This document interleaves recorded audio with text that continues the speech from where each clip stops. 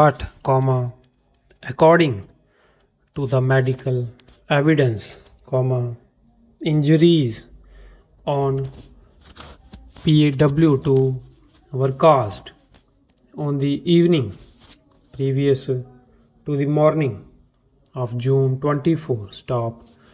This takes away the basis on which he was accepted by the trial court and the high court as an eyewitness notwithstanding his proclivity to mix up falsehood with the truth. Stop.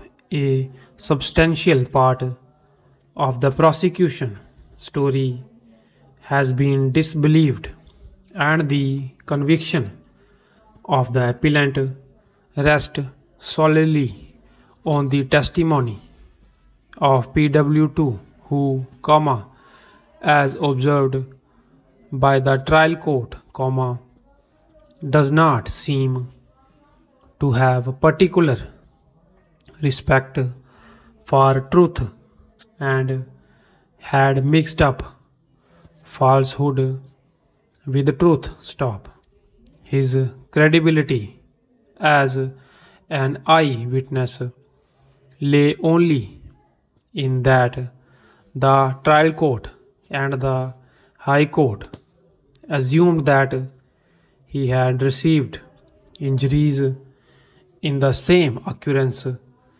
in which the deceased was killed. Stop.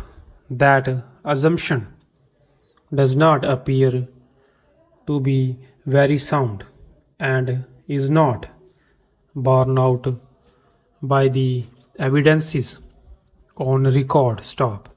The defense plea that pw2 had received the injuries on the evening of june 23 and not in the morning of june comma 24 gains credence from the fact that an incident between the two sides had admittedly takes place on the evening of June 23, 1995 stop.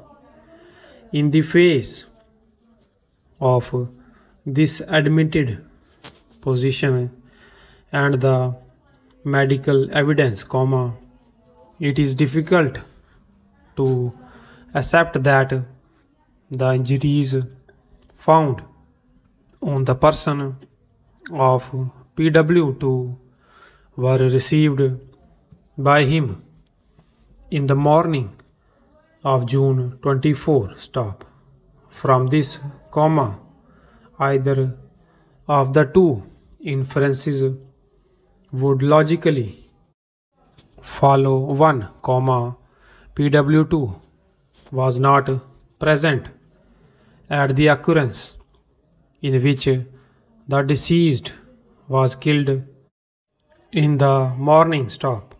The occurrence in which the deceased was killed did not take place in the morning of June 24 and he was not killed in the manner as suggested by the prosecution stop. Both the inferences are equally damaging to the prosecution case stop.